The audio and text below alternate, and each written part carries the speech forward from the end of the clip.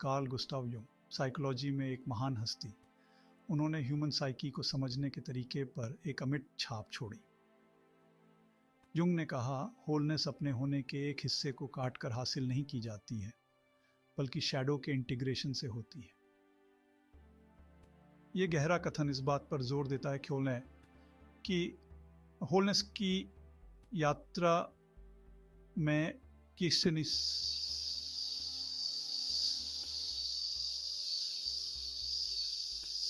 सभी पहलुओं को अपनाना कितना महत्वपूर्ण है। अंतवाय प्राचीन ग्रीक सूक्ति नो धाई सेल्फ आत्म जागरूकता और व्यक्तिगत विकास की आधारशिला है। आत्मचिंतन हमें अपने विचारों और भावनाओं की जाँच करने की अनुमति देता है। आत्म परीक्षा की यह प्रक्रिया चुनौतीपूर्ण हो सकती है। यह हमें अपनी परछाइयों का सामना करने की आवश्यकता है। इन अंधेरे कोनों में हम विकास की सबसे बड़ी क्षमता पाते हैं। आज की भाग दौड़ भरी ज़िंदगी में हमारा मन अक्सर विचारों और चिंताओं में डूबा रहता है। यहीं पर माइंडफुलनेस आती है, बिना किसी फैसले के अपना ध्यान वर्तमान क्षण पर लाने का अभ्यास। माइंडफुलनेस का अभ्यास करके हम अपने जीवन में अधिक उपस्थित होना सीखते हैं। इस बड़ी हुई जागरूकता का हमारे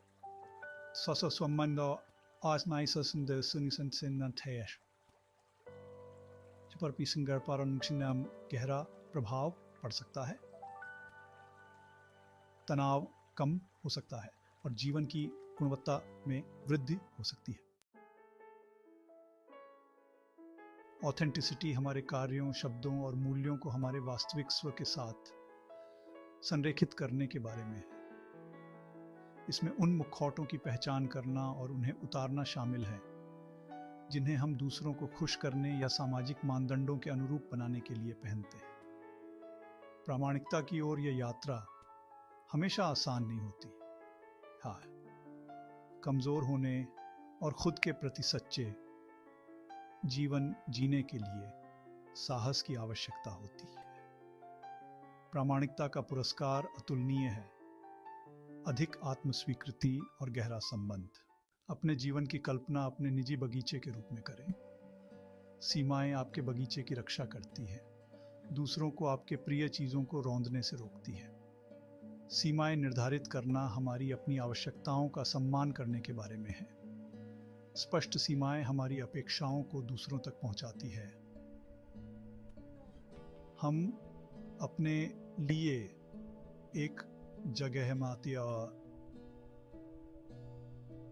पन्ने बनाते हैं, जहाँ हम फल फूल सकते हैं। जुनून व भीतर की जलती हुई आग जो हमारे उत्साह को प्रज्वलित करती है। अपने जुनून की पहचान करना और उनका पीछा करना आवश्यक है। जब हम उन गतिविधियों में संलग्न होते हैं तो हम ऊर्जा और आनंद के स्रोत में प्रवेश करते हैं। हम प्रवाह की स्थिति में प्रवेश करते हैं, जहाँ समय स्थिर प्रतीत पास समस्थिर प्रतीत का स्थिति पास ही खास मिमास है। उन कत्युनगी करना उन गतिविधियों को अपनाएँ जो आपको खुशी देती हैं। पी की अपने जुनून के लिए समय निकालें और उन्हें अपने जीवन को समृद्ध करने दें। मनुष्य सामाजिक प्राणी है जो जुड़ाव और अपनेपन के लिए तार तार होता है। स्वास्थ्य संबंधों को आपसी सम्मान, विश्वास, खुले संचार और समर्थन की विशेषता होती है। वे हमें अपनेपन, सुरक्षा और प्यार की भावना प्रदान करते हैं। हमारे भावनात्मक और मानसिक स्वास्थ्य को बढ़ावा देते हैं। स्वस्थ संबंधों को विकसित करने के लिए प्रयास और इरादे की आवश्यकता होती है। याद रखें, हमारे रिश्तों की गुणवत्ता उनमें हमारे द्वारा किए गए प्रयास का प्रतिबिंब है। मानव मन एक उल्लेखनीय साधन है, जो असीम विकास और विस्तार करने में सक्षम है। निरंतर सीखना हमारे दिमाग को तेज और हमारी जिज्ञासा को जीवित रखने के लिए आवश्यक है। सीखना कक्षा की चार दीवारी तक सीमित नहीं है। ये एक आजीवन यात्रा है जो अनगिनत रूप ले सकती है। हमारे भौतिक शरीर वे पात्र हैं जो हमें जीवन के माध्यम से ले जाते हैं। शारीरिक स्वास्थ्य के लिए पौष्टिक भोजन प्रदान करना, नियमित शारीरिक गतिविधि में शामिल होना, गुणवत्तापूर्ण नींद को प्राथमिकता देना। ये प्रथाएँ आपस में जुड़ी हुई हैं, प्रत्येक हमारे समग्र स्वास्थ्य में महत्वपूर्ण भूमिका निभाती है। आ है। अपने शारीरिक स्वास्थ्य का ध्यान रखना आत्मसम्मान का कार्य है। कार्य है, जिस प्रकार हम अपने शारीरिक स्वास्थ्य की देखभाल करते हैं, उसी प्रकार अपने मानसिक स्वास्थ्य को प्राथमिकता देना भी महत्वपूर्ण है। तनाव का प्रबंधन करना, भावनाओं को संसाधित करना और पेशेवर सहायता लेना शामिल है। मानसिक स्वास्थ्य पेशेवर से संपर्क करें। जीवन के ताने बाने में, अधिक की खोज में फंसना आसान है। हालाँकि, कृतज्ञता हमें आमंत्रित करती है कि हमारे पास क्या है। जीवन में छोटी छोटी चीज़ों की सराहना करें, सर्द सुबह में चाय, प्रियजनों की हँसी। कृतज्ञता के लाभ गहन हैं। जीवन की कल्पना, विभिन्न पहलुओं, काम, रिश्ते, व्यक्तिगत गतिविधियाँ, स्वास्थ्य और आराम के बीच एक नाजुक नृत्य के रूप में करें। संतुलन प्राप्त करना इन विभिन्न तत्वों के बीच सामंजस्य स्थापित करने के बारे में है। यह सुनिश्चित करते हुए कि कोई भी एक पहलू दूसरों पर हावी ना हो। संतुलित जीवन बनाना, समायोजन और पुनर्मूल्यांकन की एक सतत प्रक्रिया है। यह हमारी अपनी आवश्यकताओं और सीमाओं का सम्मान करने के बारे में है। साथ ही जानबूझकर और उद्देश्य के साथ अपने लक्ष्यों और जुनून का पीछा करना है। जीवन एक अप्रत्याशित यात्रा है, जो चुनौतियों और अवसरों दोनों से भरी हुई है। साहस डर का अभाव नहीं है, बल्कि इसके बावजूद कार्य करने की इच्छा है।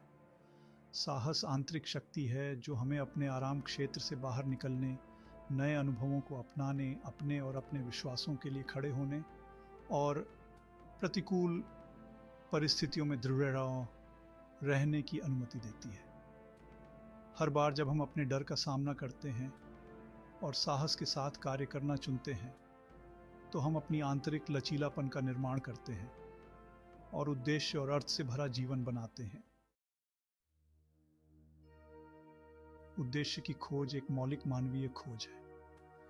यह इस बारे में है कि हमारे जीवन को हमारे रोज़मर्रा के अनुभवों से परे अर्थ, दिशा और पूर्णता की भावना क्या देती है? अपने उद्देश्य को खोजना एक भव्य पूर्व निर्धारित रास्ते पर ठोकर खाने के बारे में नहीं है, बल्कि यह उजागर करने के बारे में है कि वास्तव में हमारे मूल्यों, जुनून और आकांक्षाओं के साथ क्या प्रतिध्वनित होता है। याद रखें हमारा उद्देश्य हमारे पूरे जीवन में विकसित और परिवर्तित हो सकता है। और यह बिल्कुल ठीक है। इंटेग्रिटी वह नींव है जिस पर हम अर्थ और उद्देश्य से भरपूर जीवन का निर्माण करते हैं।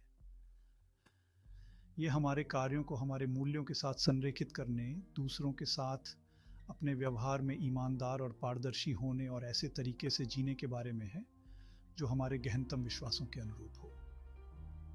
अखंडता के साथ जीना हमेशा आसान नहीं होता है। इसके लिए हमें कठिन चुनाव करने की आवश्यकता होती है। अपनी सच्चाई बोलने की भी, जब हमारी आवाज़ कांपती हो और अपने कार्यों के लिए खुद को जवाबदेह ठहराना होता है। करुणा दूसरों के दुख को समझने और उसमें साझा करने की क्षमता, उपचार और संबंध के लिए एक शक्तिशाली शक्ति है। यह न केवल दूसरों के लिए, बल्कि खुद के लिए भी दया, सहानुभूति और समझ का विस्तार करने के बारे में है। करुणा पैदा करने में माइंडफुलनेस का अभ्यास करना, हमारे निर्णयों को चुनौती देना और हमारी साझा मानवता को पहचानना शामिल है। जब हम करुणा के साथ नेतृत्व करते हैं तो हम दया का एक लहर प्रभाव पैदा करते हैं, जो खुद से कहीं आगे तक फैलता है। जीवन एक अप्रत्याशित यात्रा है और चुनौतियाँ हम मानवीय अनुभव का एक अनिवार्य हिस्सा हैं। लचीलापन वह आंतरिक शक्ति है जो हमें प्रतिकूल परिस्थितियों से उबरने, कठिन भावनाओं को नेविगेट करने और चुनौतीपूर्ण अनुभवों से मज़बूत और समझदार बनने की अनुमति देती है। लचीलापन के निर्माण में एक सकारात्मक मानसिकता विकसित करना, हमारे समर्थन प्रणालियों का पोषण करना, आत्म देखभाल का अभ्यास करना और विकास के अवसरों के रूप में चुनौतियों को फिर से परिभाषित करना शामिल है। ये पहचानने के बारे में है कि असफलताएँ असफलताएँ नहीं हैं, बल्कि सीखने और विकास के अवसर हैं। रचनात्मकता केवल कलाकारों, संगीतकारों या लेखकों तक ही सीमित नहीं है। ये एक सहज मानवीय क्षमता है जो हम में से प्रत्येक के भीतर रहती है। ये लीक से हटकर सोचने, नए विचारों को उत्पन्न करने, समस्याओं का अभिनव समाधान खोजने की क्षमता है। रचनात्मक गतिविधियों के लिए समय निकालना और प्रयोग को अपनाना शामिल है। आज की भाग दौड़ भरी ज़िंदगी में सूचनाओं और मांगों से अभिभूत होना आसान है। सरलीकरण का मतलब है कि हमारे लिए क्या मायने रखता है। ये कई रूप ले सकता है, घरों को अव्यवस्थित करना, कार्यक्रम को सुव्यवस्थित करना और सीमाएँ निर्धारित करना। यह हमारे मूल्यों के साथ संरेखित जीवन है। मनुष्य के रूप में हम स्वाभाविक रूप से प्राकृतिक दुनिया से जुड़े हुए हैं। प्रकृति में समय बिताने से हमारे शारीरिक, मानसिक और भावनात्मक स्वास्थ्य पर गहरा प्रभाव पड़ता है। चाहे वह पार्क में टहलना हो, पहाड़ों में लंबी पैदल यात्रा हो, या बस एक पेड़ के नीचे बैठना हो, खुद को प्रकृति में विसर्जित करने से तनाव कम होता है, मूड में सुधार होता है। रचनात्मकता को बढ़ावा मिलता है और हमारे समग्र स्वास्थ्य की भावना बढ़ती है। प्राकृतिक दुनिया से जुड़ने के लिए समय निकालें और इसके अनगिनत लाभों का अनुभव करें। दूसरों की सेवा करना, ज़रूरतमंदों की मदद के लिए हाथ बढ़ाना, हमारे जीवन में उद्देश्य, संबंध और पूर्णता की भावना पैदा करने का एक शक्तिशाली तरीका है। सेवा के कार्य अनगिनत रूप ले सकते हैं। हमारे समय की स्वेच्छा से सेवा करना, उन कारणों के लिए दान करना, जिनकी हम परवाह करते हैं, बस ज़रूरतमंद किसी व्यक्ति को सुनने के लिए कान देना। दूसरों के जीवन में बदलाव लाने के अवसर को अपनाएँ और उस गहन आनंद और पूर्णता का अनुभव करें जो खुद से बड़ी किसी चीज़ की सेवा करने से आती है। जैसा कि हमने इस पूरे वीडियो में देखा है, पूर्णता की यात्रा एक गहन व्यक्तिगत और सतत प्रक्रिया है।